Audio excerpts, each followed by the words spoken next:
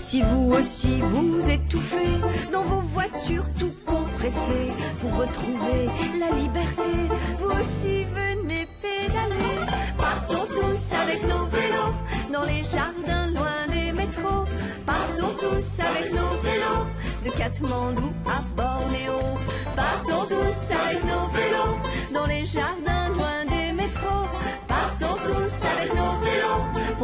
comme le monde il est beau.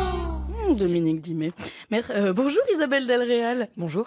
En février 2021, alors que sonnait la fin du reconfinement et que tout le monde sortait gentiment la tête de chez lui, vous avez, vous, entrepris un long périple à vélo depuis votre village breton de Plouer sur Rance, je félicite votre village breton pour ce beau prénom, jusqu'à la ville de Téhéran, en Iran. Plouéran, c'est le nom de la bande dessinée qui raconte ce voyage dont on va parler aujourd'hui. On comprend en vous lisant qu'après vos études, vous aviez envie de partir en quête de rencontres, de, de paysages. Qu'est-ce que ça a été votre itinéraire jusqu'en Iran et pourquoi? Je crois qu'à l'origine, vous projetiez d'y aller à pied, mais ça, euh, c'est en fait un peu trop long. Vous avez dit ça va prendre trop de Effectivement. temps. Effectivement. Voilà, Plouéran à pied, trop long. Effectivement. En fait, je rêvais de partir euh, par voie maritime, mais c'était encore une autre organisation. J'étais très désorganisée. Donc, comme c'était pas la mer, il me restait les montagnes. Et donc, j'ai essayé de, de, trouver une route qui passerait par le plus de montagnes possible en, en Europe et en jonglant entre les confinements. Donc dès qu'un dès qu'un pays se fermait, j'essayais de passer dans un autre. Donc j'ai eu la chance de passer par l'Espagne, l'Italie et puis ensuite les Balkans, traverser la Turquie et arriver en Iran par euh, non, la Géorgie, vous dites, vous dites prendre le plus de montagnes possible. Il faut savoir que vous faisiez pas de vélo à la base, parce que non, vous êtes parti en vélo quand même. Oui, je suis partie à vélo. Je suis partie à vélo par euh, parce que c'était trop lent à pied. Ça allait pas assez vite et euh, et puis euh, et puis et puis je me disais que c'était aussi un rythme qui était quand même pas non plus trop rapide, comme ça on peut rencontrer des gens, parler avec eux. Vous disiez aussi, je vais prendre des montagnes pour que ce soit vraiment plus difficile et prendre moins de plaisir si c'est possible. non, j'ai beaucoup apprécié la solitude dans les montagnes, les paysages. Isabelle Delreal vous expliquait au début de la BD qu'une question a jalonné toutes les premières semaines, c'était qu'est-ce que je fous là? Et qu'à un moment, elle est tout simplement sortie de votre tête. Cette question, c'est parce que vous avez trouvé la réponse ou parce que ça sert à rien en fait de se demander? Ah non, je pense qu'au contraire, ça sert euh, vraiment à quelque chose de se poser cette question tout le temps, où qu'on soit. Qu'est-ce que je fous là? Et pourquoi je, suis là où je suis et qu'est-ce que je fais? Et essayer de, de, comprendre un peu son, son rapport aux choses qui nous entourent. Mais effectivement, quand on a autant de temps devant soi, seul sur un vélo, euh, on a vraiment, enfin seul sur un vélo ou seul dans la, seul dans la montagne, on a, on a le temps d'y réfléchir. Et, euh, et, oui, elle a fini par disparaître parce que j'ai fini par me sentir très bien sur la route, mais aussi parce que j'ai trouvé euh, quelque chose qui m'animait. Et, euh, c'était bah, peut-être la, volonté de raconter des histoires, comme, vous disiez aussi tout à l'heure. Et, ça, ça a pris beaucoup de place dans mon esprit. Donc là, vous vous êtes mis à noter les histoires des gens. Qui, Exactement. Qui, Au lieu de me demander ce que je faisais là, ça, ça a pris de l'espace. Vous êtes sorti de vous-même, en fait, tout simplement. Exactement. Pour aller plutôt vers les autres. Annick Cogent, que vous étiez jeune, vous, c'était quoi le truc qui exerçait un attrait absolument irrésistible auquel vous n'avez pas pu dire non? Quel horizon, comme, euh, comme pour Isabelle Delréal, vous a ah, Je voulais comme partir ça? faire le tour du monde. Je l'ai fait à, à, 22 ans, dès que j'ai pu. Effectivement, après mes, mes études aussi, je suis partie faire un tour du monde et je, j'étais obsédée par ça. Je voulais partir, je voulais aller plus loin, toujours plus loin, toujours plus loin. Alors, il fallait de l'argent pour ça. Moi, j'ai pas eu le courage de partir en vélo. Je l'ai fait en, avion, complètement mon tour du monde, en faisant des étapes, en faisant du stop dans différents endroits, etc., notamment en, Australie, en Nouvelle-Zélande. Mais c'est vrai que j'avais cette, cette quelque, il y avait une émission à la télévision qui s'appelait à ce moment-là La course autour du monde, qui était animée par Yves Courrière, que j'ai après retrouvé au prix Albert Londres, et qui était lui-même héritier de, de, Kessel, etc.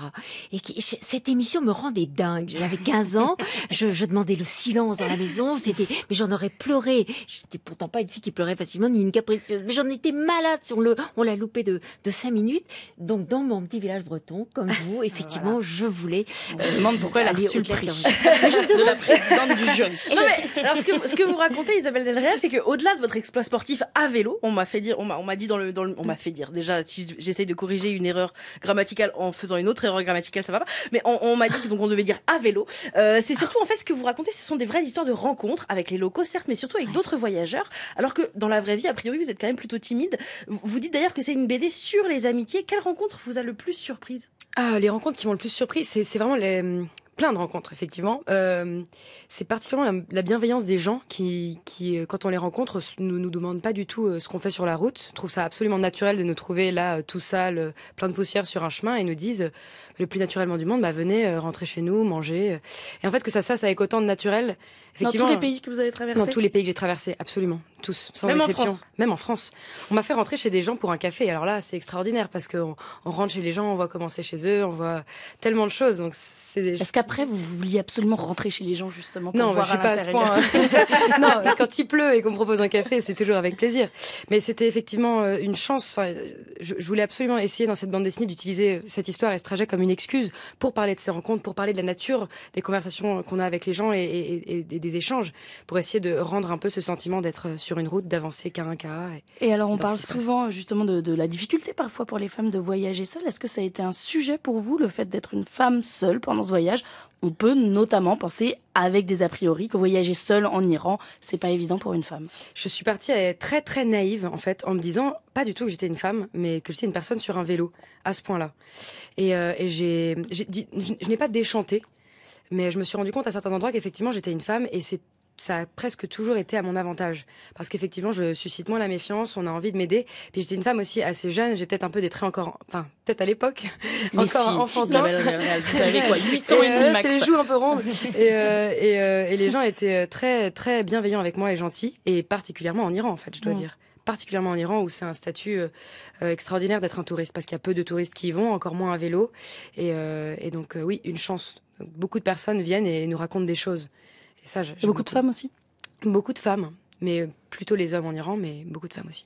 Pareil pour vous, Annick Cogent, qui êtes grande reporter dans les zones de guerre. J'ai un souvenir de Martine Laroche-Boujoubert qui disait la même chose que, que vous, Isabelle Elreal, qui disait que pour elle, au final, parfois, c'était mieux d'être une femme. Elle inspirait moins de méfiance. C'est quelque chose auquel vous souscrivez? Ah, mais je pense que dans la plupart des pays du monde, c'est mieux d'être une femme. Euh, c'est incroyable, mais c'est vrai. Il y a, il y a une partie, en tout cas, de, de une partie des pays dans laquelle les hommes peuvent pas enquêter. Au départ, je- quand je suis par- partie en Libye, notamment, euh, j'étais très frappée que, que mes copains, garçons, n'avaient pas, n'avaient jamais fait un papier sur les femmes libyennes qui vivaient un enfer sous Kadhafi, par exemple. Et je me disais, mais c'est incroyable. Combien de fois je demandais à un de mes potes, Michel, tu, tu, tu es allé en Libye et pas une seule dépêche sur le sur les femmes. Et, et j'ai mis du temps à comprendre qu'en fait, euh, ils n'avaient pas accès. D'abord, la plupart des garçons ouais. n'y pensaient pas. Oui. La plupart du temps, ils allaient voir les militaires, ils vont voir les ministres, etc. Ils pensent même pas que dans la société civile, il y a des femmes et que c'est la moitié de l'humanité. Mais même quand ils ont l'envie, eh ben, ils n'ont pas la possibilité en Afghanistan, en Iran, etc. Eh ben, un garçon ne voit pas les femmes. Et Isabelle euh. Del Real, c'est exactement la même chose que disait Martine Laroche-Joubert. Quel conseil vous donnez à ceux et à celles qui rêvent de partir mais qui n'osent pas? Vous avez fini par le faire. faut bien se préparer ou au contraire, comme vous, faut partir en, en naïveté en se disant je suis une personne sur un vélo, je n'en ai jamais fait, je prends la montagne et j'avance. Ça dépend. Je pense qu'on est toujours motivé à l'envie. Il faut être, euh, il faut avoir très très envie pour euh, grimper dans les montagnes, pour passer des jours Ah sous oui, la oui. pluie. Mais il y a des gens pour qui il faut être très préparé. Il y a des gens pour qui il faut pas du tout être préparé. Mais c'est ce que vous disiez aussi tout à l'heure. C'est une quête de l'horizon. On a tout le temps envie d'aller plus loin. Il y a une, une espèce d'addiction aussi de voir ce qu'il va y avoir derrière le prochain col, comment va être la prochaine montagne. On devient obsédé par euh, par la route et le fait d'avancer. Et ça, c'est très fort et ça nous ça nous tire. euh, Voilà, Voilà. poursuivez vos obsessions. Merci beaucoup Isabelle Del Real de nous avoir emmenés dans quelques étapes de votre voyage Plouéran. C'est le nom de votre BD et c'est aux éditions Delcourt Ancrage. Merci encore. Merci beaucoup.